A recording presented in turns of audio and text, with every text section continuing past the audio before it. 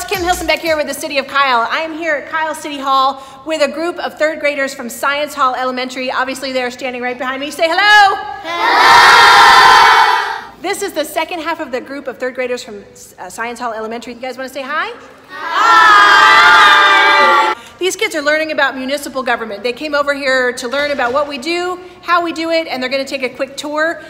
And we just want to let everyone know how important it is to know about what's happening with your city and to understand how government works. So we want to thank the teachers from Science Hall for letting these kids come over here.